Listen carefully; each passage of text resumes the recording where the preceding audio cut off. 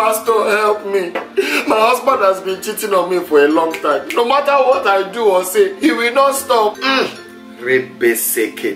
Makasata. The spirit tells me that your husband is suffering from a mild case of iberiberism. Iberiberism. But don't you worry, there's nothing that cannot be fixed by the power of the Almighty.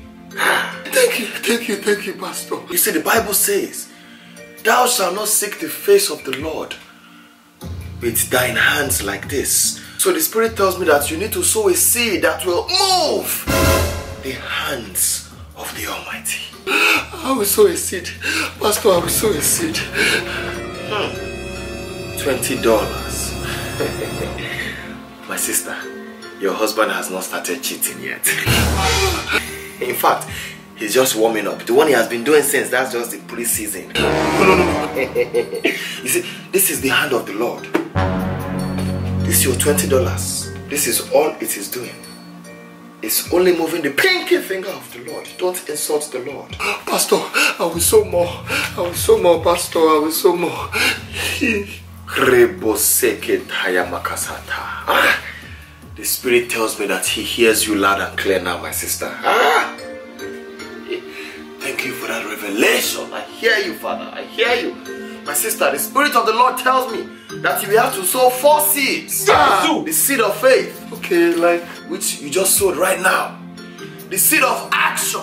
Say it with me. action. action because we need to move the hands of the Lord. Then you need to sow a seed of appreciation to say thank you, Father, because I know He will stop cheating on me. The last seed is the seed of thanksgiving Thanksgiving. Ah, because you need to thank Him for allowing you be appreciative of His hands moving in your life to let your husband stop his iberiberism.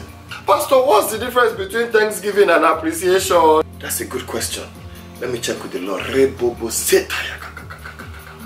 Father, you heard her question. What is the answer?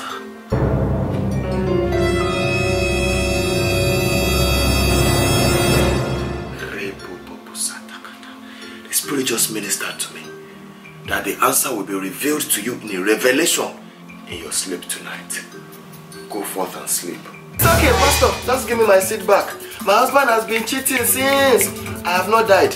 But today I came for prayer. You want to suck me dry. Pastor, I did not die then. I will not die now. A berry berry is in you there.